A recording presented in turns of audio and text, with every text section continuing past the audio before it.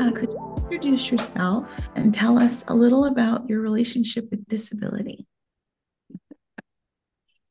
I am, my given name at birth was Catherine Mary Adams. Um, and then I grew up being called Kathy as my nickname.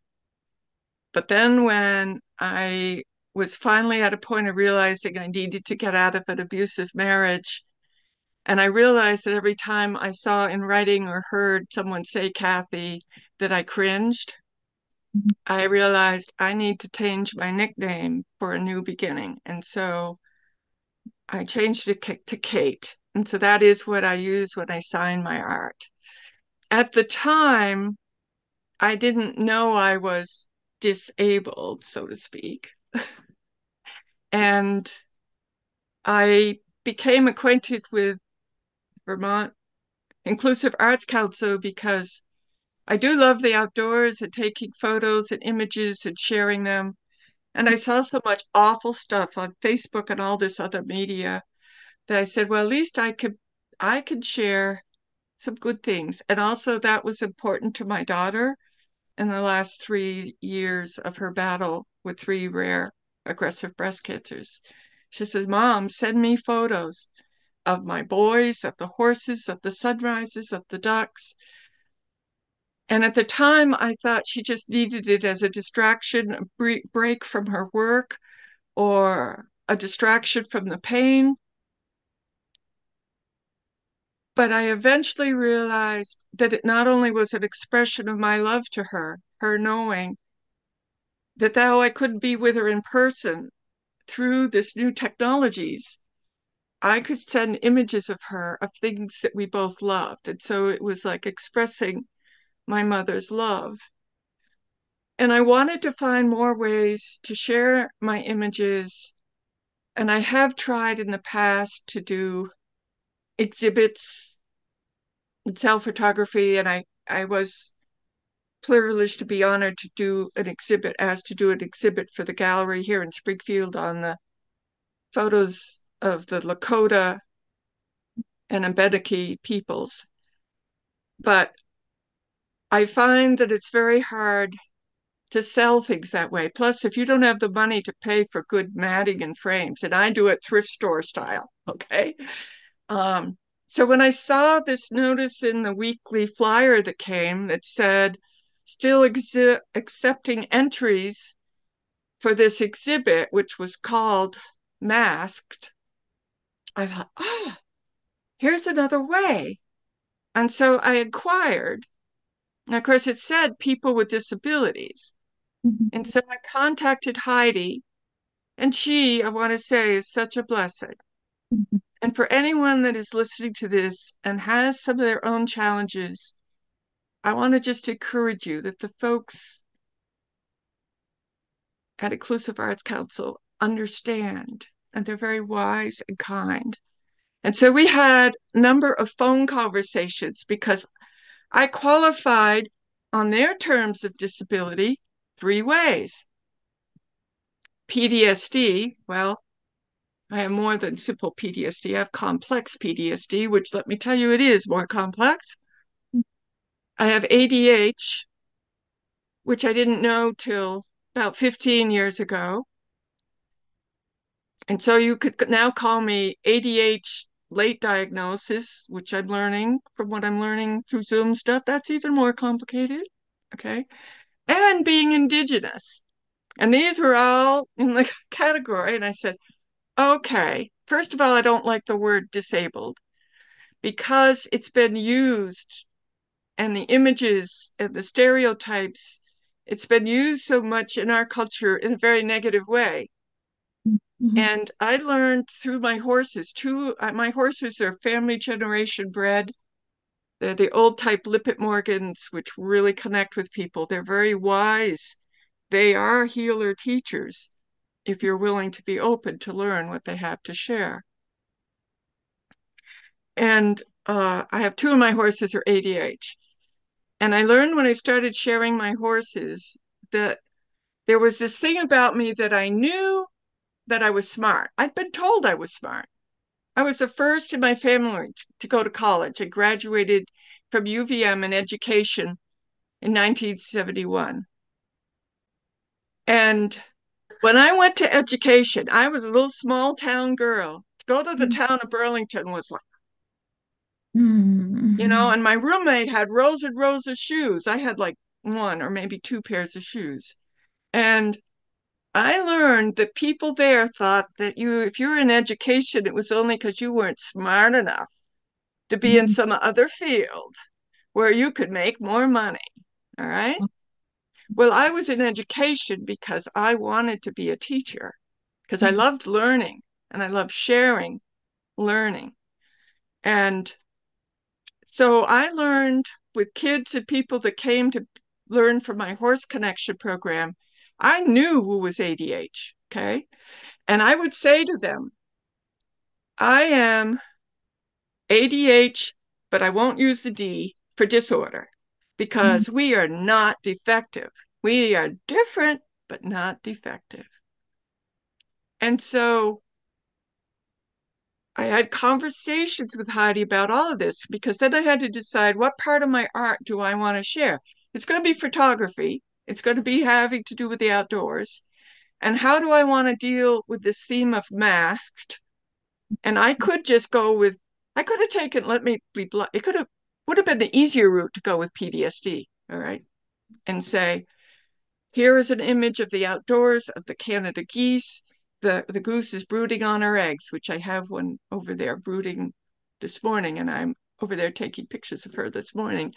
And I'm learning from God's creatures what is healthy father, mother, male, female role, which is not what I've been taught in the culture that I was raised in, in education, in family, in church, religious. And So I knew I could just take an image, which is what I've done for this particular exhibit. It is simply an image of God's of God's creative beauty that I saw the morning that was the last day that I would be with my daughter on her earth journey. And and the encouragement, the message that it was to me. But for the for masked, I felt like I was ready after a long journey searching and be careful and quiet because of those that would look at me and see my whiter skin and say, You're just a wannabe. You don't know if you're really Abnaki. So I don't know if once the tribes even got recognized, if I was eligible to apply. But about seven years ago, I did genealogy study. And so I found, I found my native ancestors in Northeast and Northwest Vermont. And so I knew I could proceed with applying, but still I was even scared to. But I felt I wanted to honor that part of my ancestry as well as my Scottish ancestry, because my MacArthur Scottish ancestry came to Vermont from the clearances in Scotland when the, mm-hmm. the controlling conquering did a clearance. So the MacArthurs came to Vermont in the early 1800s. And they chose Vermont, which I can understand. They love the hills, the mountains, the valleys, the greens. And so I was getting up to the deadline with her, and I, mm-hmm. but they were very gentle and they said, okay, this is keep working on it. Go ahead, submit it. And so I submitted what is my photo collage because I wanted the image of the circle, the sacred circle, the healing part of the journey. And I was learning. And I had to find a way to express who I was and others of us with differences without using the word disability in the way it's been perceived by myself. And maybe I'm more affected because I'm in my mid 70s, okay? So I've come up through more decades of the not understanding. I mean, when is it that they finally use the term ADH? Okay. And also with the PTSD, my PTSD was from abuse in the first marriage and domestic violence.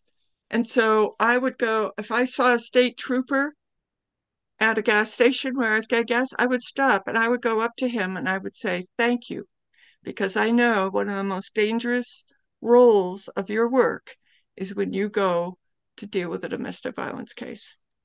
And mm. when I see a Vietnam veteran, I will go up and thank them for their service, but not only because they were so horribly abused emotionally, physically, etc., when they came back, but, but because before the Vietnam War, we women and children who'd been abused within the walls of our own homes were called crazy. Okay. Mm.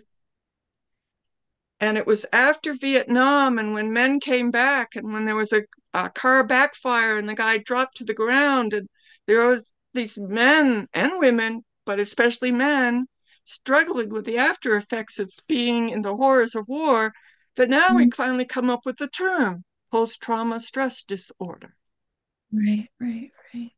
So my coming to peace about that they're going to still use the word disability and that I understand. And it's like, but how can I be a part of bringing a different understanding to the word? Because our words, where they came from, the context, how they've been used in our society, have meaning and impact. And so I equate it now to a horse race. Mm-hmm. In the thoroughbred horse race, if you've got a really winning thoroughbred and you've got a younger horse that's coming along and they want to put the two together, but to, to make it a little more equal and fair to that younger, less experienced horse, they will give the other horse a handicap. They call mm. it handicap but not in a negative way. They it's like giving that jockey more weight to carry, which means the horse has more weight to carry. And we have movies recently that that share about this kind of story. Mm. And so I said, okay, I guess it's more I have this handicap, but it's not handicap in the cultural use of the word. Person that's called handicapped is considered, let's just not go there, okay? when I was doing my horse program and getting certification, there was a group called Riding for the Handicap. Mm. And so I knew I needed to get certification credentials at FRO. So for a while, I went through their protocols. And I finally just came to a point of saying, I am not going to get my certification with a group that is going to use these words. And I know mm-hmm. they're good intention because they're finally getting some of these people connected with horses in wonderful, wonderful ways. But I don't want to be associated with that word. So I'm kind of more independent here on my own. And uh, so that's how, I guess that's more than you needed for an answer to your first question. I think you touched on a lot of the, the ones that were coming up actually. Um, yeah, stories interweave.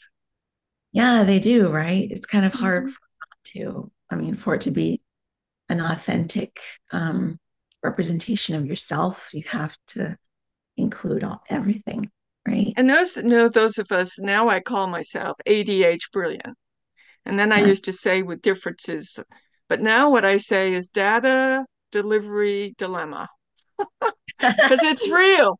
It's real. Thank God for my my new to me three years with me wonderful healthy husband Okay. And he's good with that kind of stuff. So he can make sure my checkbook is in order. And, you know, so so we have a partnership where where we each could bring the skills and gifts that we give. So I could chuckle about my dilemmas and we we call to find where did I lay down the cell phone? What piles of papers is it underneath? Uh, or was I cleaning the horse stall and it fell out in the dirt? And that is why we have this little gold thing because you don't know how many cell phones I've found years later out in the dirt of the horse barn. So it's like learning what strategies I need to supplement the things that just don't come automatically to my brain. And now the new word is neurodivergent. I'm like, okay, so at least progress is being made in people's awareness. Grateful, yeah. grateful, grateful. And so to become a part of this counts this inclusive see even remembering the words i have to stop and think inclusive arts count uh, no it's inclusive arts vermont it's been such a blessing for me but not only for being able to share my art and my story but meeting other people and mm-hmm. and coming to understand some of their struggles and how they've been impacted on the limits in the culture around us who aren't aware mm-hmm. like at these exhibits that you put the names down at the level where someone that's in a wheelchair can read them. You know, not people that aren't aware don't think of these things. Mm-hmm. And then that, like Heidi's needs ver- visual, and I, I have to remember if I send her an image, she's going to have to put it on a special screen to be able to see more of it. And so I'm more careful what I send to share with her you know, mm-hmm. like a sunrise and my saying a brief description, then she can enjoy that. Nice. And for others, like I met at the exhibit, well, I'd met her through art groups uh, with with intensive art, inclusive art council, but um, she has work there. It's beautiful, stunning piece of work and she she has Lyme's Lyme disease effects. And so the lack of physical strength, the limits on what she could do physically, and that she has to ask people to come and help her move the couch in her house, or that or that she can't drive down to the exhibit. She has to get a ride. And then then someone with cerebral palsy was who is an artist. There's this amazing creative brain. He's he's but if someone will take him out and then his eye sees things and has the adaptive camera stuff so that he can take images and share them. And the most important part is community, caring, compassion, community, where we're willing to see and listen to each other and celebrate our strengths so that we don't feel like we're always just seeing through this lens of the limited, which mm. is the disabilities word and all right. of its connotations. Right, right, right. Nice. Yeah, well, I've, I've hoped um, I teach about disability culture. Um, mm. And I've always hoped that we could kind of um, speak more about, you know, disabled identity. and What does that mean? And um, how we use our language, like how each person has a choice as to what they want to call themselves or not. or even that, you know, you don't have to necessarily have a label to get what you need. Right. Like I have I have hmm. students. That's interesting thought. Hmm. Yeah. Say more. Making, things universally uh, accessible to folks, right? Like if you thought ahead about um, challenges folks might have accessing something, um, thinking about that ahead of time and making that um, it's not even accommodation, it's just building it into what you want to do. So then someone can just come in and feel welcomed and included and not mm-hmm. have to mm-hmm. ask accommodations or this or that because that's all loaded mm-hmm. with lot of you know internalized um, ableism. Um, I think if we can move past, I think well, I talk about dis- disability more as our environment is disabling. It's not us as people. Yeah. Right. Like if if the environment was for everybody, then we wouldn't have that challenge, right? So. But I think the exhibits and what work they've done and bringing them to different galleries, and I've tried to go to several of the receptions because I hmm. could feel I could best represent myself in person rather yeah. than just what's on the wall or just what I've written. And lots of times people don't even bother to read the stuff you've written. But like at one of the galleries, it helped them realize we don't have an accessibility parking spot out in front of the gallery. So if someone's coming all right with a wheelchair wheel with wheels to roll with, but they have to park way down there. Mm-hmm. So that brought awareness to those gallery folks. Okay. Mm-hmm. And and when I was at the State House, the man who was And see, I don't remember names. I that's part of my blah blah blah. I, I am brilliant, but the the detailed data, I I don't remember names, dates. I'm more like, yeah, visual. So, but he spoke, and uh, and he felt it was eye opening for him too, because at the state house they have church, school groups, other groups come, and with all the art they say, "Don't touch, don't touch, don't touch." Okay, and as curators, we know we don't want salty sweat on the oil painting. Okay. But to be able to have pieces there that people could touch was like, well, and that was one of the reactions last year at the Davis Center. Mm-hmm. You know, the people and and the people the students at the student offices said, wow, we could we first with it think we're supposed to tell people, oh, don't go touch. Well, no, no, you can touch. We want you to touch. But I worked in corrections. When I got out of the first marriage, I was desperate for a job. I got my degree in education. I got my master's in curriculum development. I love teaching, but it was hard to find a job. Okay. So I have my daughter who I'm trying to protect. That's another whole long story. And I did. I want to say I did finally, I did succeed in achieving that her visitations with him were only supervised. And I got her through therapy by going to therapy with her, and me being like the mother mare that went through the thickets with her checking out, well, mom, are you really safe? Are you going to continue to protect me? And so after a year of that, then she said, okay, mom, I don't need you here anymore. I'm continuing this therapist on my own. Okay. So she did eventually hold him to account in her own way. Okay. So she healed, and she and I and those who helped us helped break that chain of the generational cycle. Right. Mm-hmm. And it's a huge, huge loss to me to lose her presence here. But I got to go to a celebration of her life that was given by the people that worked with her at a mental health agency who wanted to honor her. And I got to hear as a mother because she worked with families with children with differences mm-hmm. and she advocated. And so I got to hear those stories that I never heard about how she used what she'd been given to help so many others. And so I'm very grateful.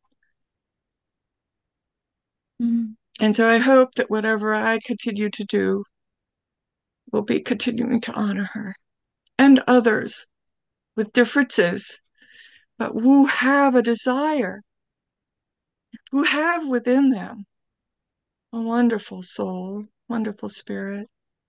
And our mental and thinking and physical may look different than the traditional, but we're alive. There's too much that's still wondrous about us. Mm-hmm. And I had a young man whose grandfather brought him to my horse program a number of years ago. And I knew he was ADH. They didn't have to tell me. And he told me how difficult it had been for him in school and family moving. And it was, I just did my horse connection with him with Jem. And then they asked to come back again later. And this time the parents were going to be with him. And the grandmother, when she called to make the appointment, said, You know, that's the first time I've seen that boy smile, was when he mm. came back from your farm. And so he came again. So he has a chance to be with my grandmother, Mary Jem, who's 30 now 32 year old daughter of my wonderful stallion that I'm speaking of. So he gets to do the connecting, the grooming, the understanding about safety, horse communication, connection, and he's in front of the barn and he gets up on Jem. And I say, and I'm thinking, I'm using this as a teaching moment for the other adults that are around me. I said, ah, You're on one of my ADH horses. he started lowering his head, and in shame, he whispered, I'm one of those. Mm-hmm. And I said, Yeah, give me a high five. That startled him. He put his head up. High five, because I'm one of those too. And I want to tell you what I know about you because mm-hmm. I've learned it about me and this horse. We are brilliant. We are brilliant and we're curious. And we have a lot of energy, which other people and even we don't always know what to do with. But you're also very intuitive because mm-hmm. look how good you listened so well to me when I told you about watching Jem's communication to you and how you treated her so respectfully. And so you're intuitive.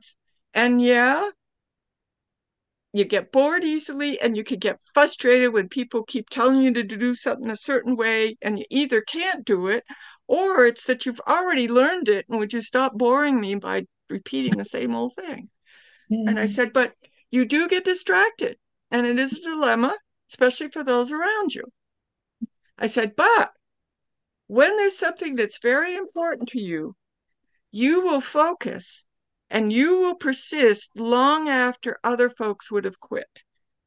There's a quote that says,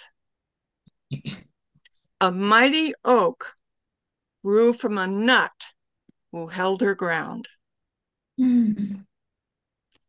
And that's why I still do what I'm doing, even mm-hmm. when it may not make sense to other folks around me. And there's people that say, why don't you go out and get a job where you could really make some money? Why do you do it this way? And I'm like, I've had to, and I, my beginning reaction is to listen to them. Oh God, have I messed up again? And sometimes there's a struggle and a journey, and my own thought process is to say, wait a minute, unstyle this, sort it out. No, this is my choice. This is what I want to be doing. This is what I'm gifted at.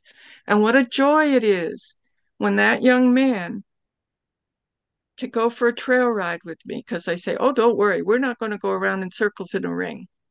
I'm going to be leading you through the woods because Jem doesn't want to go around and around circles in a ring either. So I feel my art is storytelling, my images, my words. It's telling stories of my story, my family, my horses, my birds, my dog, other people's stories. And if telling my and sharing my story helps them, I like, like I said, I like what are the original readings of words, and like uh, they wanted a vis- visual description for my piece, and then they want you to write if you want to. They're great about giving you permission. Yes, you can do it, or no, you don't have to do it.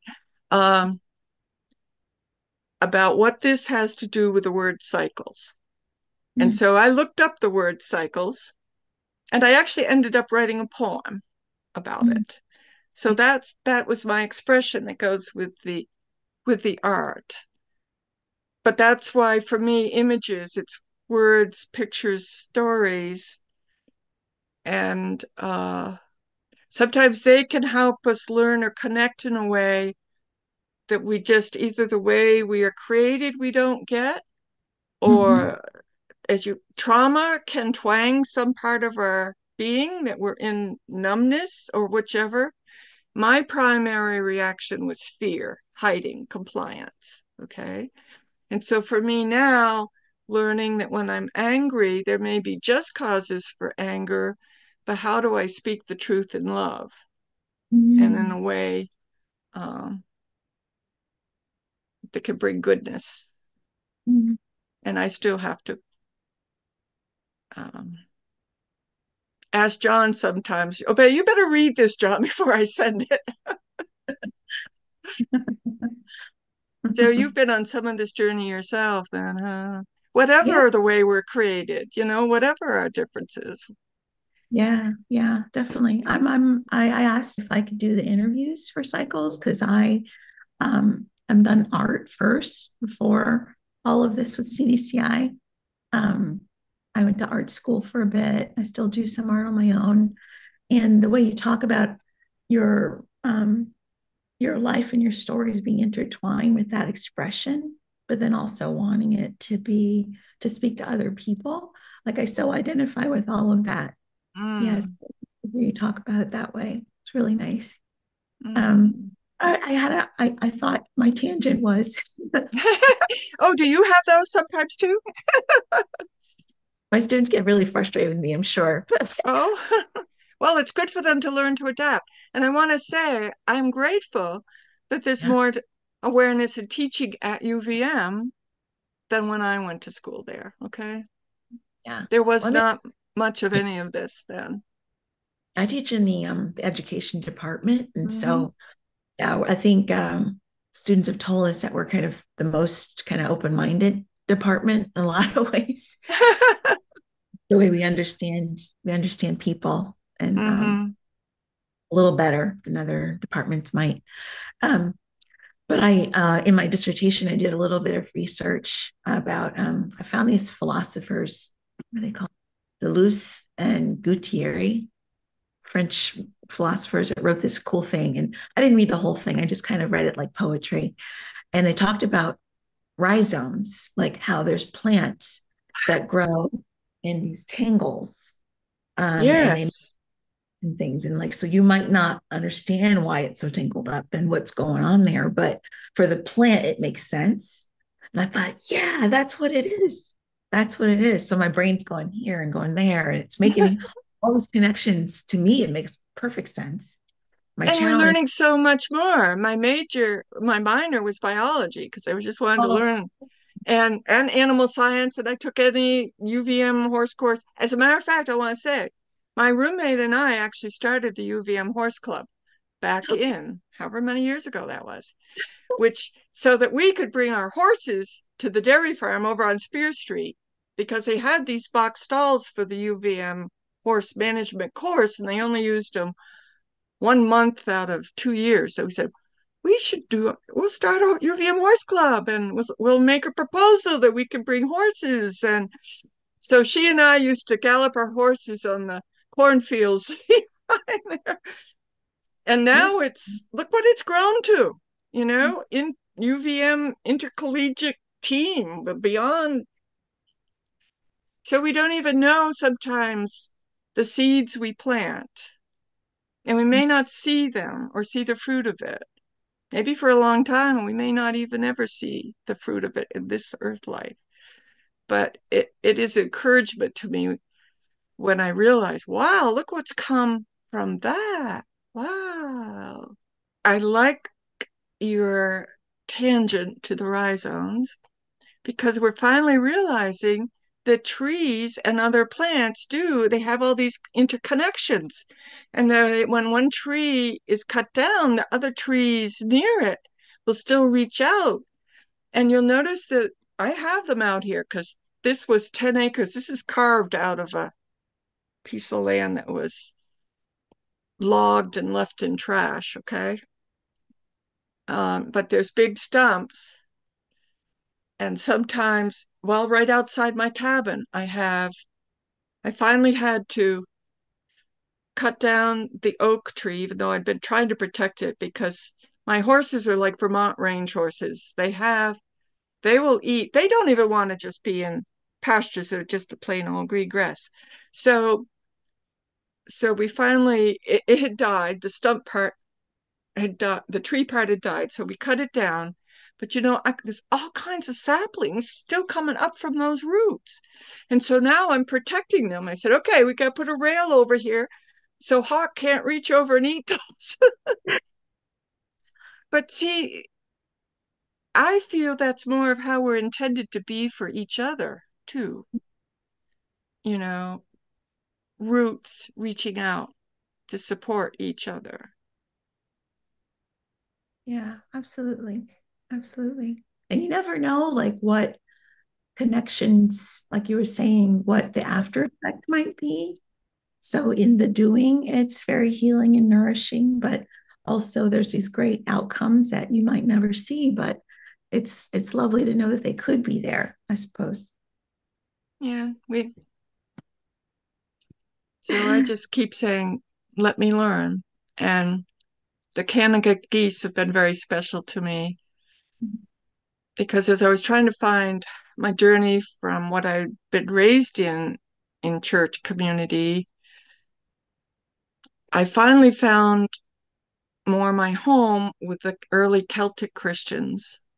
Mm-hmm. And that whole group of people had to go into hiding because when the Roman Catholic Church and whoever was the king at the time decided they were the ones they were going to yield to, that the Celtic Christians went into hiding or disappeared.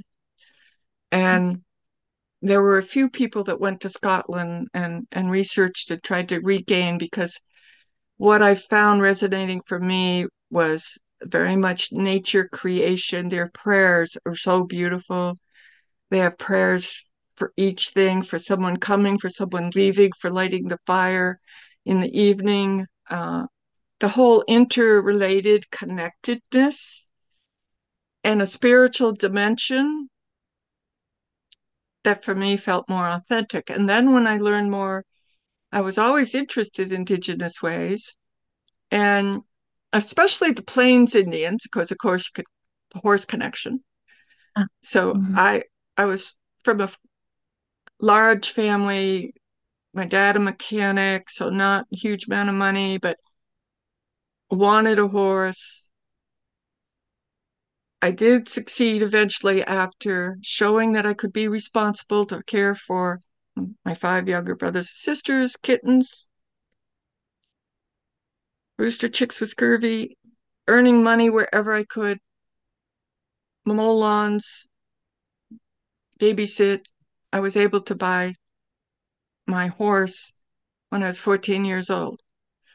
And two of the horses I have out here are her grandchildren.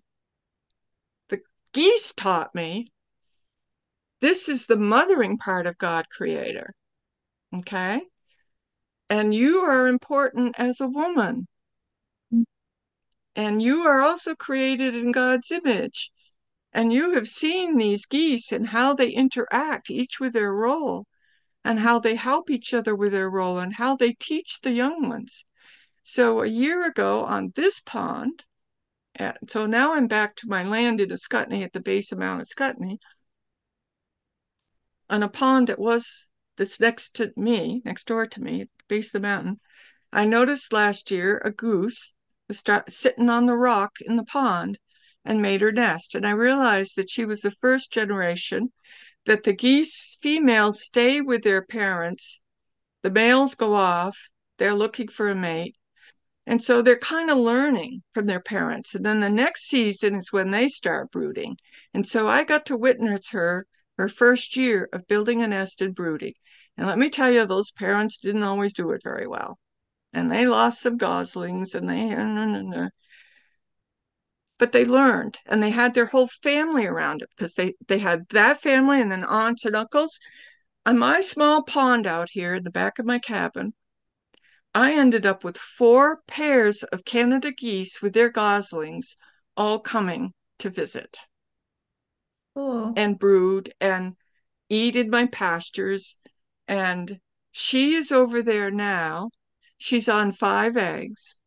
And even just watching how she builds the nest, she it's like I said to John, it's like the image of the top of a volcano. She has drawn in the weeds, she's drawn in green grass, she's drawn in and built it up so there's a base of warmth underneath and there's a wall to protect to keep her warmth in and that when they start to hatch they don't just crawl out and swim away or whatever they would do and this morning she was adding her down, her fluff to them. And so there's always more to learn and, and enjoy if we're willing to look and be aware and listen and be open. Yeah. In the last year, I've been, uh, I'm a city kid originally. And so uh, last summer, I decided I was going to learn the names of plants, like trees and flowers and uh, the different birds. Mm-hmm. And so mm-hmm. apps that would kind of record the oh, song. yeah. Oh, good for you. So have you learned some new plants? Um, I'm not so great with the plants, the birds. No? oh, wow. great. Birds, I can I I remember now what they sound like if I don't have my phone out right away. Mm-hmm. It, that's really cool. I feel very um yeah, it's really, really uh a nice part of the day. Um I had a dog also with a very uh, we call it, we were very connected, I think, very static relationship. The kids would go, Mm-hmm. that's our dog, that's your dog, mom. And um, he he passed away last month, but part of my favorite part of the day, Oh, take him for an early morning walk and listen for birds and take pictures of plants. And he would pose for pictures if he saw me. So I have a bunch of him posing in front of plants and and things like that. so do you So have some of those images? I do, yeah, I've saved a bunch on my Isn't phone. that, isn't that, doesn't that how I find that even with the images of Valerie, you know, it just, it just does. It can, maybe doesn't always, but for, it does. It brings, it brings back that memory, that closeness, this, and I realized eventually, I didn't realize it, I don't think until after she left her earth life, Mm. um, that there was a spiritual connection too that I didn't realize. It was like the creator was saying, Thank you that you are stopping to see me in this image of this goose. I want to acknowledge you for what you did as a mother to protect your gosling. And when you send her these images, it's like you're sending her a reminder of me that she mm-hmm. may not understand all of what I don't understand all of what she was enduring. Okay, had to endure. But there there are blessings when we make the effort for connections and for me to realize that the images, and it's also been true in the cancer write group that I've been in, the poems we write and we're sharing with each other, how we're seeing many of these, in this case, mostly women, but some men too, we're dealing with the illnesses and the medical and the chemo. But when we're together as the right group, we have a wonderful facilitator and they share the prompts and then we have time to write and then we share with each other. It's like we're coming up out of the mud mire. We know we're not just seen as somebody stuck down there in the mud mire. We're seen in our beauty and our creativity and, and the words and expressions and stories that people share. Um, they're very precious. So, well, maybe next year you'll be uh, exhibiting in one of these exhibits. Yeah, I, I, a few years ago I did one, um, what was it called? The Flourish show that was at the Flynn. I made Ah, a um what was it? It was like kind of like a like a shadow box with like medicine bottles and stuff like that in it. mm, Yeah, it was fun. that's I have intriguing too. Yeah. yeah. Taking a variety of things and did they have were they of significance to you or was it just your curiosity on putting the different types of objects together?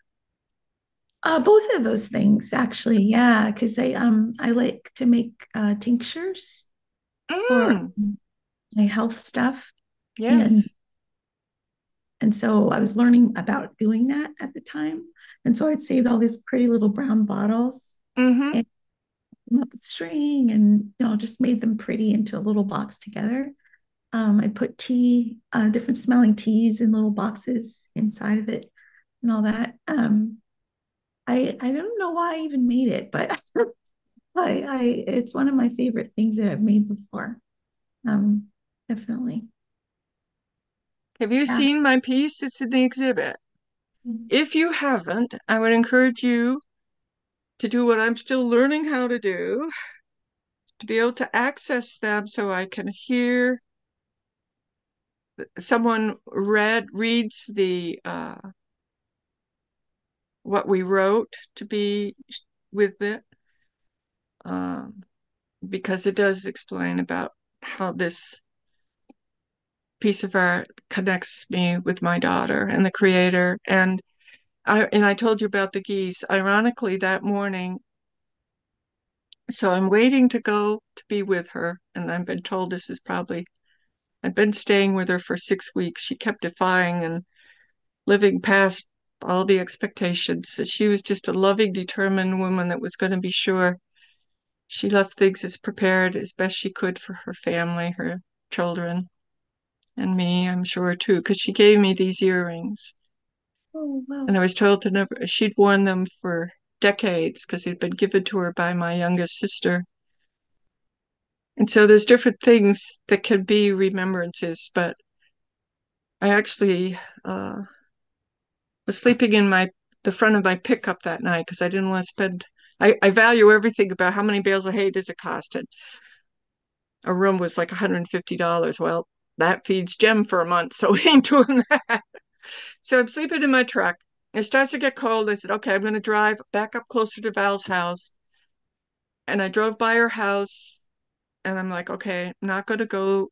It's just been there with her and I'm not going to disturb them. I'm going to go to Belvedere Pond. It's just half a mile from her house. And so as I approach it, and because I always am looking for sunrises, a lot of my sunrises, I pick at the edge of my farm or through the woods, I can see the sun coming up. So that's my morning walk is out there and taking images and sending them to Val or to others. So I see the sun coming up over. So I head for the pond. And then the sun's just coming over, and there's the mist in the valleys around in the hills around the pond.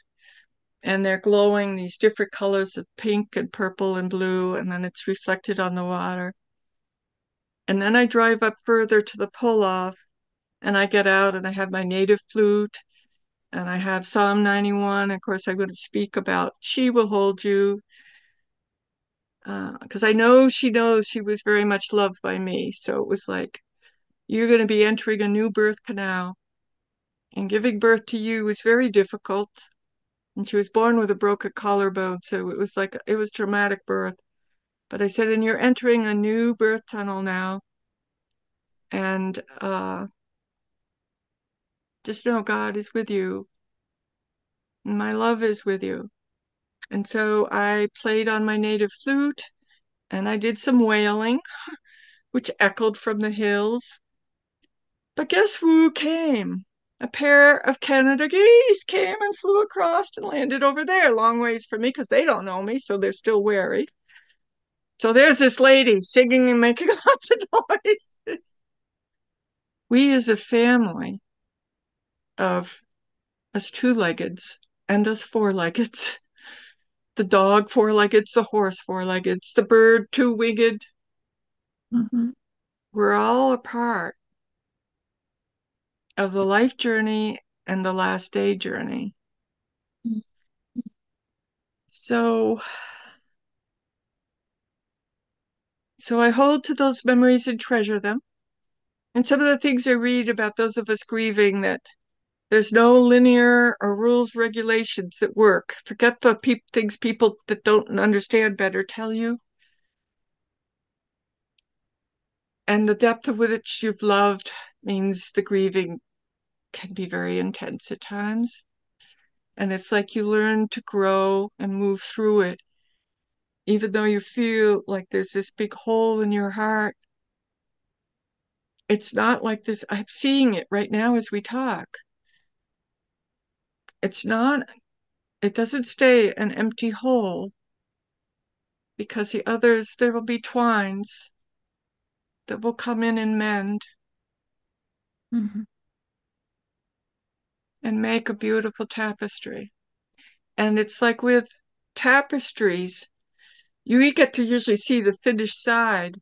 But if you look at the back side, it just looks like a lot of mess and snarls and So I'm still on this earth life where a lot of it looks like a lot of mess and snarls. but I hope that by sharing what I've been learning and healing, growing from, mm. can be a way that gives, I'd like to use the word encourage. We use the word sometimes to a point the words no longer have significance. We want to say, I want to encourage someone. Well, now I take and pull it apart Encourage. So I want to encourage them to find the courage that is in them. And I love the John Wayne statement that courage courage is being afraid and doing it anyway because you know you have to or something like that. That's a paraphrase. But uh, sometimes in our journeys We need to find that courage Creator has placed within us. Often the best ways to find it and to help those seeds to grow is from a caring community around us that encourages us to rise up, to grow up like a seed to the dark, cold winter earth and come up and bloom. No, and thank no. you that you're holding it kindly and with gentleness. Yeah, yeah. I think um, so much of what you're talking about resonates with me on lots of different levels. So uh, I appreciate that. Thank you, So thank you.